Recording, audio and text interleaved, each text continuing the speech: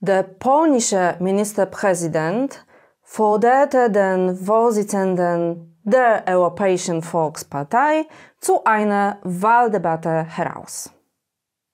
Es heißt, dass der Sieger den Vorsitz der Regierung in Polen übernehmen wird. Welche Konsequenzen diese Debatte für Deutschland haben wird, ist noch nicht klar. Co ty właściwie powiedziałaś? E, Dostałam takiego maila, e, to był załącznik, e, maila z adresu internationalmałpa.pis.org.pl. To ja, Mateusz Morawiecki, premier Polska, potrzebuję Twój pilny przelew, żeby pojechać na debatę z Manfred Weber. Przekaż tę informację dalej. Dzięki Tobie Polska dostać 6 bilionów 220 miliardów reparacje. Cześć, nazywam się Dominika Sitnicka. A ja Agata Szczęśniak. To jest program polityczny. Dziś będziemy rozmawiać m.in. o niedoszłej debacie Mateusza Morawieckiego i Manfreda Webera. E, I o dymisji Adama Niedzielskiego, który ujawnił wrażliwe dane lekarza, no i okazało się, że jednak nie może tego robić. W ostatnią niedzielę telewizja CDF opublikowała wywiad z Manfredem Weberem, czyli szefem Europejskiej Partii Ludowej. Manfred Weber ist stellvertretender Parteichef der CSU, aber vor allem Chef der Europäischen Volkspartei im Europaparlament.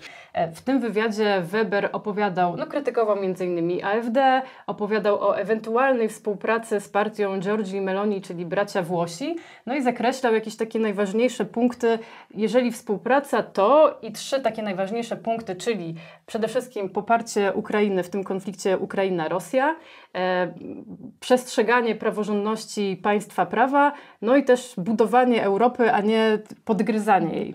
E, I w pewnym momencie Weber powiedział, teraz to przeczytam po polsku, żeby, żeby nie było wątpliwości, e, w tych trzech zasadach nie ma dla nas żadnych wahań. Kto to akceptuje, może być demokratycznym partnerem, e, a kto ich nie przestrzega, tak jak niemiecka AfD, Le Pen we Francji czy PiS w Polsce, staje się naszym przeciwnikiem, z którym będziemy walczyć.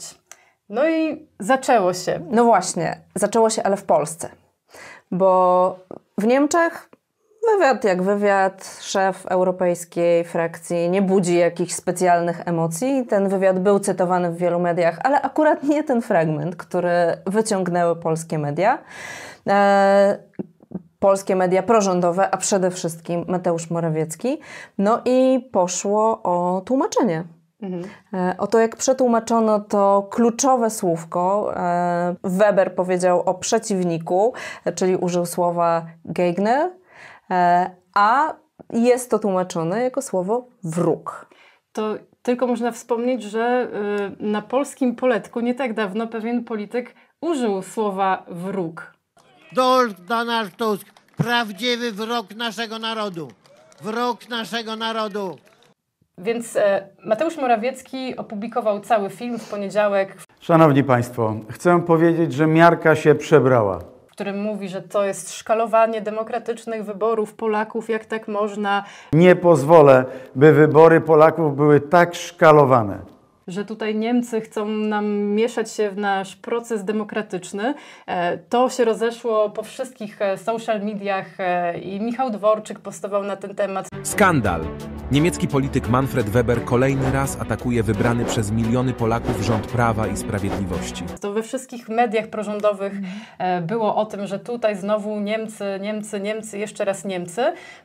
I jeszcze w poniedziałek myśleliśmy wszyscy, że to jest no po prostu taki zamieszanie, nieśmieszny żart, ale ten żart został pociągnięty jeszcze dalej, bo oto budzimy się we wtorek rano i widzimy, że Mateusz Morawiecki wystosował oficjalny list do Manfreda Webera, e, w którym zaprasza go na debatę. Morawiecki pisze w tym zaproszeniu, tak. Skoro Niemcy wybierają otwarte przyznawanie się do intencji ingerowania w polskie wybory, to ta kwestia powinna zostać przedyskutowana na forum publicznym. Czyli podczas e, kampanii wyborczej premier polskiego rządu e, zaprasza nawet nie premiera niemieckiego rządu, tylko szefa Europejskiej Partii Ludowej, no bo tutaj jest oczywiście taka myśl, że Donald Tusk to nie jest samodzielny e, polityk, że on jest wysłannikiem EPL-u, mniej więcej tak jak, nie wiem, Morawiecki jest wysłannikiem e, EKR-u. E, no w każdym razie jest to zaproszenie, bardzo uprzejme, ale tam już jest wyznaczona data i takie słowa dosyć stanowcze. 1 października, nie, 2 października, czyli dzień po marszu, proszę się stawić tutaj na ubitej ziemi. E, Dzień i z po marszu polskiej opozycji. Tak, miliona, marsz miliona serc, tak, Tak. dobrze pamiętam. Tak, więc E, do, Donald Tusk pomaszeruje, a potem e, z jego szefem podyskutuje Mateusz Morawiecki. Tak, bardzo mi się podoba jeszcze w tym zaproszeniu. E, ono jest wystosowane publicznie właśnie na Twitterze, opublikowane, ale maila proszę kierować na internationalmałpa.peace.org.pl. Tam już odpowiednie osoby siedzą i odświeżają cały czas. No ale e, okazało się, że robili to pewnie trochę niepotrzebnie, e, bo już zagraniczni dziennikarze z Politico podpytali EPL, rzecznika EPL, co o tym sądzi. On powiedział, że nie chce odpowiadać za Manfreda Webera, no ale to jest jakiś, e, nie użył słowa absurd, ale ta wypowiedź do tego się sprowadza, e, że jeżeli chcą dyskutować, no to powinni dyskutować z e, jakby wysłannikiem partii EPL w Polsce, czyli z Donaldem Tuskiem. To już z kolei też zostało podłapane i ta, i ta jakby On odmowa powiedział z reprezentantem. reprezentantem. E, I to, to już oczywiście politycy Zjednoczonej Prawicy podłapali, no proszę, tu jest, tu jest jak, jak, e, jak czarno na białym, że to jest reprezentant Niemców w Polsce. Mamy was, gagatki, przyłapaliśmy was na tym. To jest jedna rzecz. A druga rzecz, że już odtrąbiono wielki sukces, ponieważ Manfred Weber stchórzył przed potężnym Mateuszem Morawieckim. Mhm. No dobra, to spróbujmy to, to trochę rozwikłać, e, bo tutaj zaszytych jest e, ileś rzeczy w całej tej sytuacji. E, Od takich dość zabawnych, że Manfred Weber w Europie reprezentuje Europejską Partię Ludową, no ale jest też członkiem partii niemieckiej CSU. Jest to partia bawarska. E, Z tejże Bawarii, która miała być takim, takim wzorem dla prawa i sprawiedliwości. Jarosław Kaczyński opowiadał o tym, jak to zrobi z Polski Bawarię. Czy nie dałoby się, proszę Państwa, tutaj na tej ziemi zbudować polskiej Szwajcarii?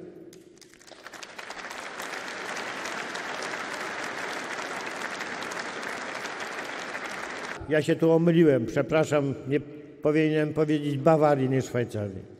No i powinien się zaprzyjaźnić To e, fajnie, by, fajnie by wyglądała ta debata. Myślę, że też mogłaby być przeprowadzona po niemiecku, e, ponieważ e, Mateusz Morawiecki jako wychowanek niemieckich uniwersytetów, też były stażysta niemieckiego banku, na pewno mówi płynnie po niemiecku, więc Tak, to tak, byłoby... tak. To myślę, było- że, myślę, że poszłoby mu lepiej na pewno niż nam na, E, na tak. początku odcinka, więc trochę zazdrościmy tych e, Mhm. możliwości językowych.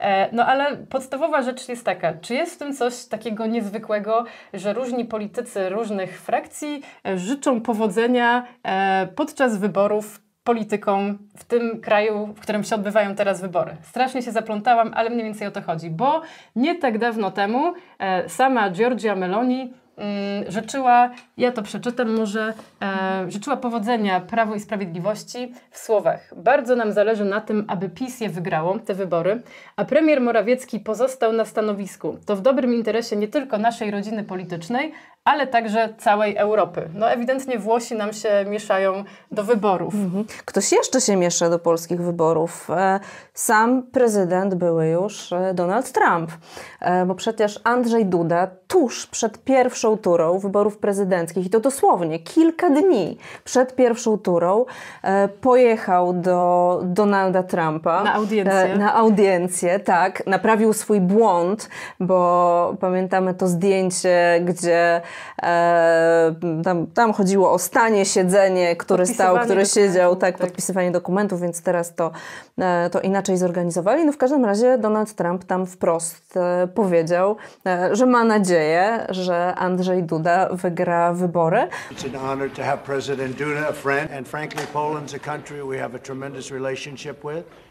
And I have a very good personal relationship with the president. So E, ale tam jeszcze coś e, bardzo ciekawego przy tej okazji powiedział Donald Trump, e, bo poinformował o, e, o traktacie, porozumieniu e, dotyczącym broni, które właśnie Stany Zjednoczone negocjują z Rosją e, i mówił o bardzo dobrych stosunkach e, Rosji ze Stanami Zjednoczonymi. Więc omówimy to w naszym wydaniu Resetu na pewno jeszcze, ale to jest nie wszystko. E, On top of it all zamieszała się gwiazda Hollywood Pamela Anderson w nasze wybory. W 2019 roku udzieliła poparcia partii Razem. Tak było, to nie jest żart. E, Są też inne przykłady udzielania poparcia na drugą nóżkę. Drugą z kolei, stronę. z kolei. Mateusz Morawiecki ingerował, nieskutecznie co prawda, ale ingerował w wybory w Hiszpanii. Polska i Hiszpania leżą na dwóch stronach kontynentu, ale łączą nas wspólne cele.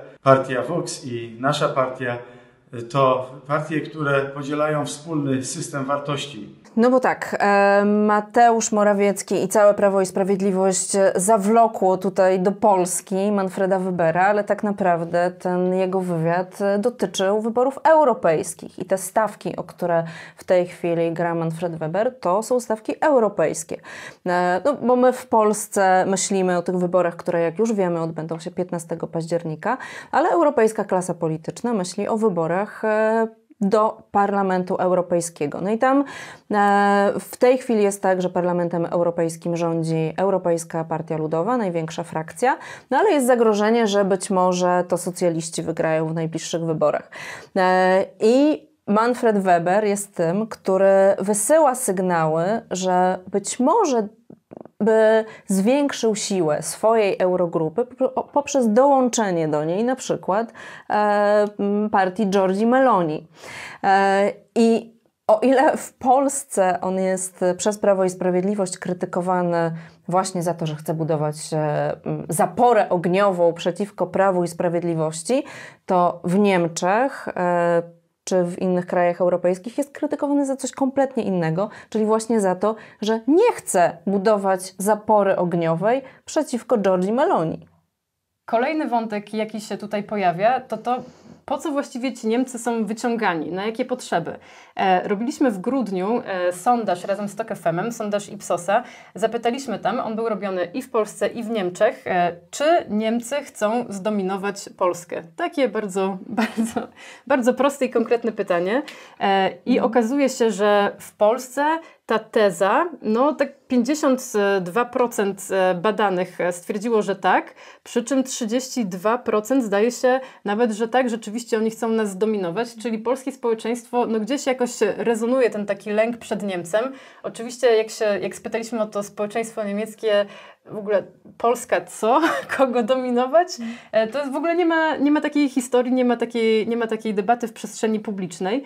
E, No i właśnie, po co, po co PiS to wykorzystuje? Bo też jak się spojrzy w te wszystkie słupki, to ta historia rezonuje absolutnie tylko i wyłącznie w elektoracie PiSu. W elektoracie PiSu 90 parę procent wierzy w to, że Niemcy chcą nas zdominować. E, To jest bardzo, bardzo wygodna narracja, bo jak sobie prześledzimy, to właściwie Niemcy odpowiadają za wszystko. Jeżeli PiS ma jakieś problemy e, z praworządnością, a to jest wszystko spisek niemiecki, tak? Bo, bo Niemcy chcą nas dominować, chcą nam rzucać kłody pod nogi.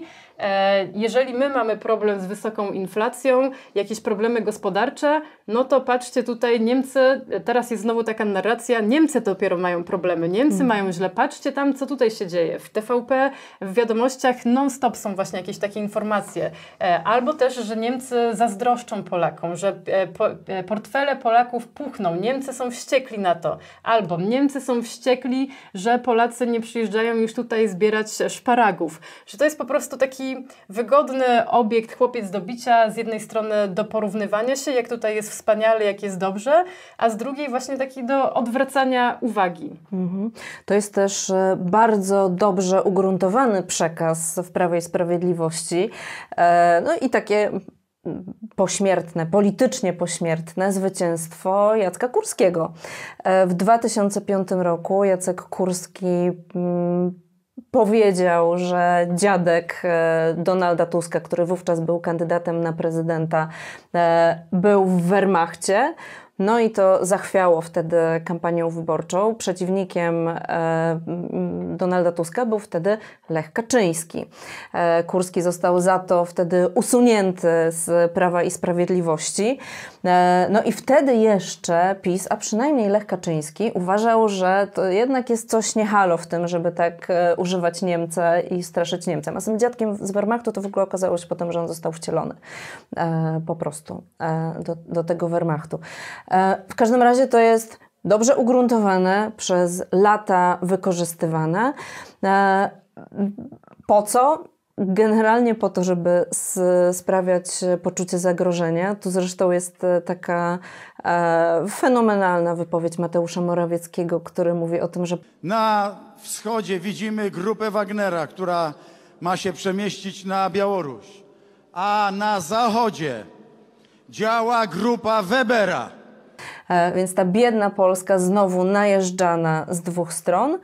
E, no i chyba to jest po prostu przekaz do takiego najtwardszego elektoratu, który też e, ma być może jeszcze jakieś wojenne wspomnienia, który, no, dla którego wojna i Niemcy to nie jest tak emocjonalnie bardzo odległy temat. No i Prawo i Sprawiedliwość w tej chwili walczy o to, żeby ten najtwardszy elektorat na pewno do wyborów poszedł. No i chyba Niemca się chwycili, żeby ludzi zagnać. Tak, to jest, to jest też dla mnie dowód na to, że te wybory, tutaj chodzi o mobilizację twardego elektoratu, że to nie jest właśnie przemawianie do tych ludzi pośrodku, wahających się i tak dalej, tylko właśnie na to, żeby jak najbardziej swoją bazę zmobilizować. E, też jeszcze ta historia niemiecka jest trochę historią o polskiej polityce, tak jak sama powiedziałaś, jakiej, jakiej ewolucji ulega przez lata, a właściwie jakiej degradacji. O ile jeszcze w 2005 roku to był skandal, e, no to teraz Jacek Kurski e, dostałby promocję. Tak, tak, jak, tak, tak jak tak. był promowany przez ostatnie lata, tak czy siak. No ale jest to, jest to naprawdę rzeczywiście taka, taka gorzka, gorzka historia polskiej polityki. E, mhm. To, jak bardzo powszechne, jakieś takie przezroczyste wręcz, to jest przezroczysty argument odbieranie komuś jego tożsamości narodowej. Mhm. Jest też w naukach społecznych takie pojęcie pojęcie naszość i myślę, że to jest taka obrona naszej naszości przeciwko Niemcowi. W ostatnich dniach wydarzyła się rzecz spodziewana, a zarazem dosyć niespodziewana, ponieważ Mateusz Morawiecki przyjął dymisję Adama Niedzielskiego, dotychczasowego ministra zdrowia. Ta rzecz jest związana oczywiście z tą aferą receptową. Przypomnijmy, na początku sierpnia Ministerstwo Zdrowia wprowadziło zmiany w wystawianiu recept na leki psychotropowe i przeciwbólowe e, i 3 sierpnia mm, TVN pokazał materiał, gdzie lekarze opowiadali o tym, jakie mają, te, jakie mają problemy z wystawianiem tych recept. Jednym z tych lekarzy był Piotr Pisula, lekarz z Poznania. Wczoraj i dziś w Poznaniu leków przeciwbólowych do domu nie dostali pacjenci po operacjach kręgosłupa. Żadnemu pacjentowi nie dało się wystawić takiej recepty. No i na to y, postanowił odpowiedzieć y, minister zdrowia, y, który w mediach społecznościowych napisał tak. Lekarz Piotr Pisula, szpital miejski w Poznaniu, wczoraj w faktach TVN-u powiedział, żadnemu pacjentowi nie dało się wystawić takiej recepty. Sprawdziliśmy, pisze minister były już Niedzielski. Lekarz wystawił wczoraj na siebie receptę na lek z grupy psychotropowych i przeciwbólowych. Takie to fakty. Jakie kłamstwa czekają nas dziś? No i oczywiście ten wpis Niedzielskiego na portalu X, dawniej Twitter, musiałam użyć tego określenia, e, wzbudził, wzbudził potworny, potworny awanturę, skandal. E, minister po prostu e, ujawnił dane medyczne e, i jeszcze co więcej brnął w to, bo kolejnego dnia odniósł się do tych wszystkich zarzutów e, i nazwał, że to jest nieprawdziwa teza o naruszeniu przeze mnie prawa poprzez upublicznienie informacji o wystawieniu recepty przez lekarza. E, całe środowisko medyczne murem stanęło za lekarzem. Wszyscy eksperci, ekspertki e, nie mają wątpliwości, nie mają że minister złamał konstytucję, naruszył kodeks karny i ustawę o ochronie danych osobowych. No tak, właśnie to możemy tylko podsumować, że prezes Naczelnej Izby Lekarskiej skierował sprawę do prokuratury, bo tam chodzi o dwa przepisy kodeksu karnego 231 KK, czyli przekroczenie e, uprawnień i i drugi 266, paragraf 1 mm. kodeksu karnego, czyli jeszcze ujawnienie informacji w związku z pełnioną funkcją, ale to jest, to jest nie wszystko, bo też tak jak powiedziałaś, skierował też sprawę do Urzędu Ochrony Danych Osobowych, bo tam też jeszcze RODO zostało naruszone, e, też jeszcze e, Rzecznik Praw Obywatelskich e, prowadzi swoje postępowanie wyjaśniające, Rzecznik Praw Pacjenta. To jest po prostu A zupełnie... pan doktor Pisula wystąpił o przeprosiny i przekazanie 100 tysięcy złotych na cele charytatywne. No właśnie, ta sprawa z, z takiej perspektywy prawnej była zupełnie oczywista, ale to się wydarzyło, zdaje się, w piątek, tak, 4 sierpnia, w piątek wieczorem. E, Prawo i Sprawiedliwość milczała przez, przez kilka dni na ten temat. E, politycy, nie wiem, na przykład e, minister cyfryzacji Janusz Cieszyński. Zapadł się pod ziemię. To jest jego działka, zapadł tak. się pod ziemię. Jedyny jakiś taki wpis w mediach społecznościowych na portalu X, dawniej Twitter, dotyczył Tuska. Zdaje się Tusk, tak. nie wiem, tam Niemiec, zdrajca, cokolwiek. Nie, nie odniósł się w ogóle do tej sprawy.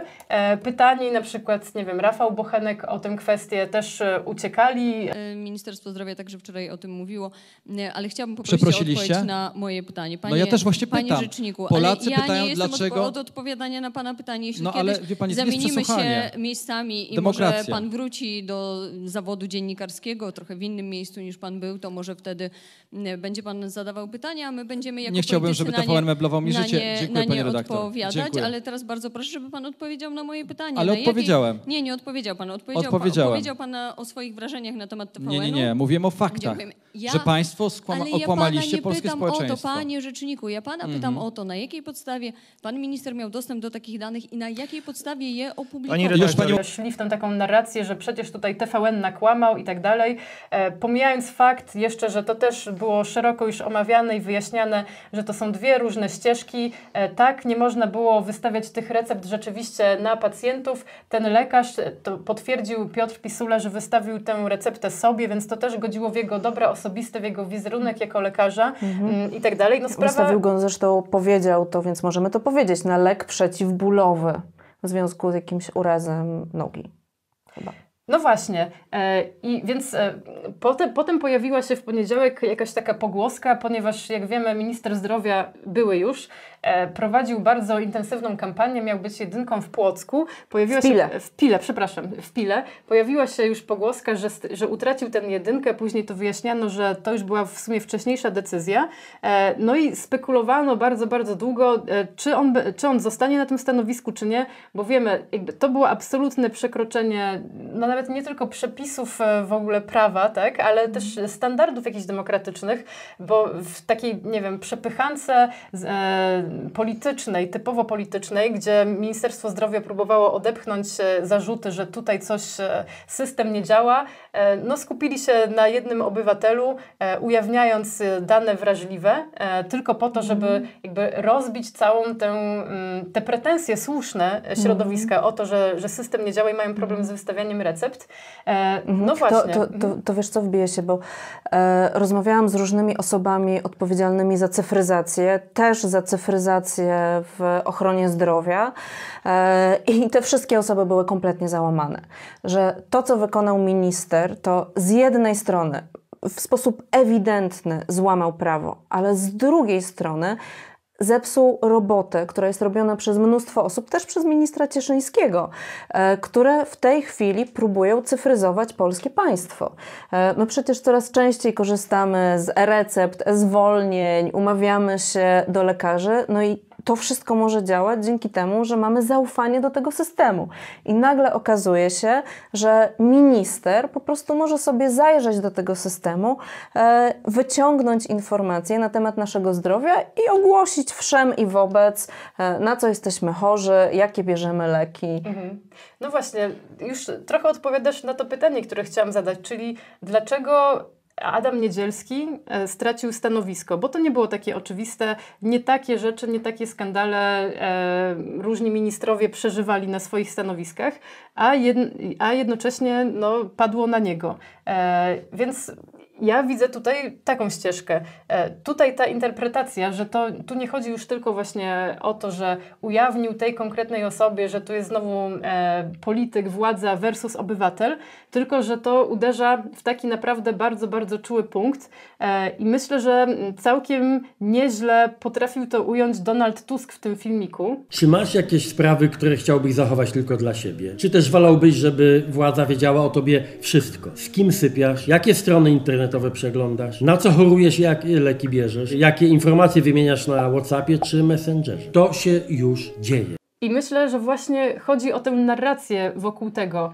że to jest ta inwigilacja, e, mhm. te wszystkie takie mm, to się zaczęło nawet w pandemii, e, że ludzie nie chcieli się szczepić, a później się tak strasznie denerwowali e, o te wszystkie paszporty covidowe, no bo to jest informacja dotycząca ich zdrowia, dotycząca zabiegów, e, jakie, jakich dokonują. I pamiętajmy, że wtedy PiS bardzo się przestraszył tej narracji i rzeczywiście byliśmy jedynym krajem właściwie w Europie, jednym z naprawdę nielicznych, który jakoś tak no, tych paszportów covidowych nie za bardzo przestrzegał. Tak? Była tam ogromna luka, że można było ich nie pokazywać, że tylko w jakichś tam szczególnych warunkach trzeba, one były wymagane. E, więc e, ja myślę, że to jest, to jest ten klucz, tak? że, że to się mhm. bardzo, bardzo poniosło. Ogromne są zasięgi tej, tego skandalu wokół recepty e, i trafiło właśnie na taki czuły, miękki punkt sam ten tweet miał ponad 4,5 miliona wyświetleń. E, to po pierwsze, ja bym tu przypomniała te osoby, które zrobiły e, niemal to, co zrobił minister Niedzielski, ale nie poleciały, nie wyleciały z rządu. I to jest pan Szymczyk z polskiej policji, który oznajmił wszemi wobec całej Polsce, opowiedział o życiu osobistym pani Joanny na konferencji prasowej policji. Czy coś się wydarzyło z panem Szymczykiem? Nie, nic się nie wydarzyło. E, minister Ziobro i prokurator Szafrański, który z kolei ujawnił e, imię i nazwisko osoby, na którą napadła Marika Matuszak. Co, co, co jeszcze jest najbardziej szokujące w tej sytuacji, e, bo z Szymczykiem to było tak, że, że to był element całej właśnie takiej kampanii przeciwko, przeciwko pani Joannie z Krakowa. E, to było wszystko zamierzone. E, z tą, z tą konferencją Zbigniewa Ziobry, no tutaj Podczas konferencji padło imię i nazwisko osoby pokrzywdzonej, przez, która została napadnięta przez właśnie tę neofaszystowską aktywistkę i jej znajomych. Mm -hmm. e, oni wymienili imię i nazwisko tej osoby podczas konferencji, nikomu nie, nie drgnęła powieka. Ktoś później wyciął ten filmik i wrzucił na stronę Ministerstwa Sprawiedliwości z fragmentami z tej konferencji. Wiele godzin, nie wiem czy nie dobę Kilkanaście, prawie, kilkanaście, prawie dobę. Pra, kilkanaście prawie godzin. Dobę, tak. Wszyscy tam pisali, ujawniono dane, ujawniono dane. E, ta osoba, której dane ujawniono, już pocho zdążyła pochować wszystkie swoje social media, jakiekolwiek mm. strony, gdzie, gdzie tylko, nie wiem, coś pisała w internecie, e, no bo wiadomo, że to wystawiają na potworny, pot, pot, potworny pręgierz e, i nadal żadnych konsekwencji, w ogóle nikt tego nawet nie skomentował, ten filmik usunięto, ale wiadomo, e, myślę, że też nieprzypadkowo tyle godzin e, on tam spędził. Mm -hmm. No tak, no i nic. I ani pan prokurator, ani minister Ziobro, który stał obok niego i słyszał, e, jak wypowiada to imię i nazwisko prokurator, e, nic nie zrobił. No i e, dlaczego minister Niedzielski? Jedno wytłumaczenie jest takie czysto polityczne, z takiej czysto politycznej rozgrywki. Minister Niedzielski był słabym ministrem, bo słabo osadzony był w Prawie i Sprawiedliwości. Nie miał praktycznie żadnego zaplecza poza Mateuszem Morawieckim. E, walczył o tą jedynkę w Pile, ale jak się okazało walczył nieskutecznie i Rachciach został tam przesunięty przez bardziej osadzonych działaczy e, porozumienia centrum. E, skarżyli się posłowie, że minister nawet nie dbał o własne ustawy i kiedy one były w Sejmie procedowane, to nawet nie przychodził na komisje sejmowe. W ogóle nie dbał o relacje według, wewnątrz partii. Był takim obcym ciałem. On, on nie kandydował nigdy wcześniej. Więc było go łatwo usunąć. Też w Prawie i Sprawiedliwości trwają teraz e, no, tarcia, rozgrywki w związku z tworzeniem list wyborczych pomiędzy różnymi frakcjami.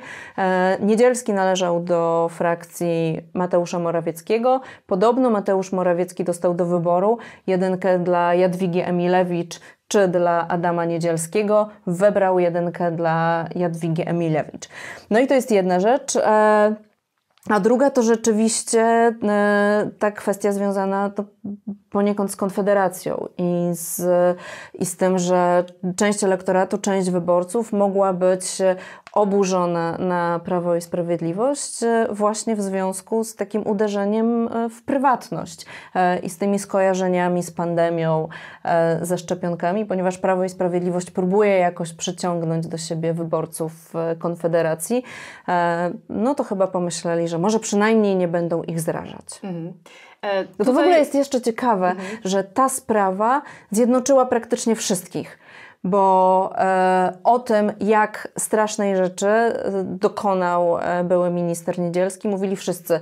Od partii Razem, przez Konfederację i z lekarzami, prawnikami, specjalistami od cyfryzacji mhm. pośrodku. Jeszcze ciekawa jest ta reakcja PiSu, bo dopiero jak, jak doszło do tej dymisji, to nagle, nagle się okazało, że Patryk Jaki to strasznie nie lubił tego Niedzielskiego i się mhm. cieszył, bo mu się przypomniało, że mu się nie podobały w sumie lockdowny i cała ta polityka covidowa, e, ale też e, Mateusz Morawiecki, kiedy ogłaszał tę dymisję, to tak mówił pokrętnie. A czas kampanii wyborczej to szczególny czas. To taki okres, w którym musimy być szczególnie wrażliwi na jakikolwiek błąd. Nie, że Ale prawo złamał. Nie, nie, no właśnie, kampania. nie było żadnego kampania. przyznania, że, że tutaj doszło do złamania prawa. Jedyną osobą, która to przyznała był szef sztabu wyborczego, czyli Joachim Brudziński, który napisał rzeczywiście o co chodziło w tej sprawie. Nie wiem, czy przypadkiem, czy mu się wymsknęło, czy o co tutaj chodzi. No w każdym razie... Joachim Brudziński jest w innej frakcji niż Mateusz Morawiecki.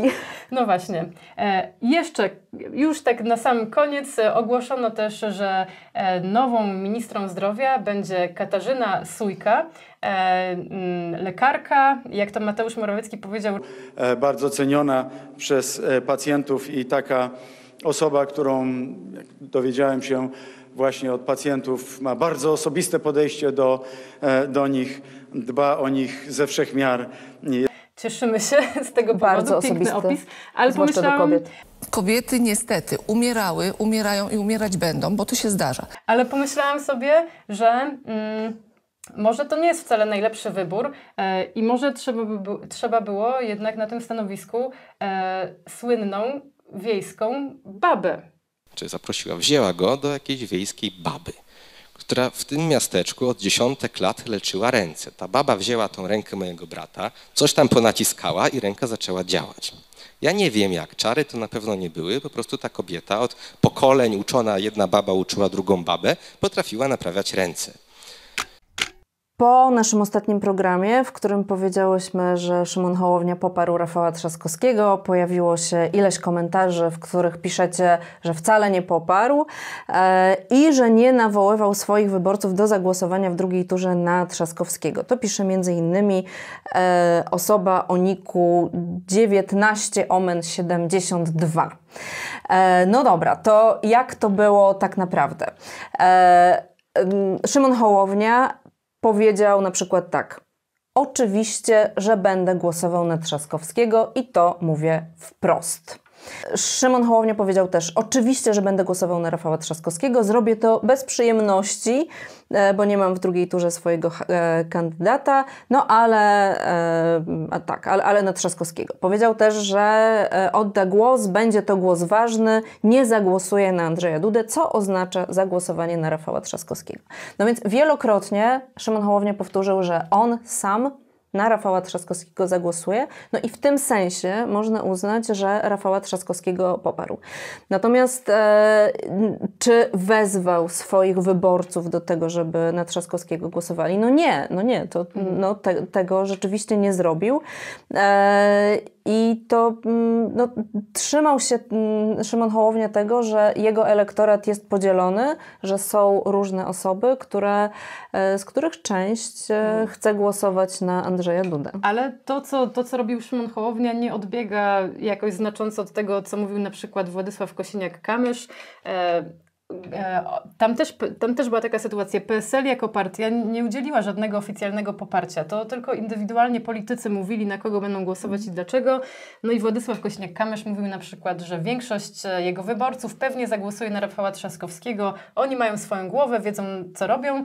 Ja jestem też bliższy temu kierunkowi. No też nie są to nie wiadomo jak wielkie deklaracje. To jest bardziej takie puszczanie oka, mówienie, że są pewne oczywistości i oczywiste wybory dla nas, mm -hmm. tak? Mhm. Szymon Hołownia też zorganizował debatę z udziałem Rafała Trzaskowskiego, w której tam przedstawił cztery warunki poparcia i powiedział, że Trzaskowski rzeczywiście e, trzy właściwie spełnił, a czwarty tak prawie. -hmm.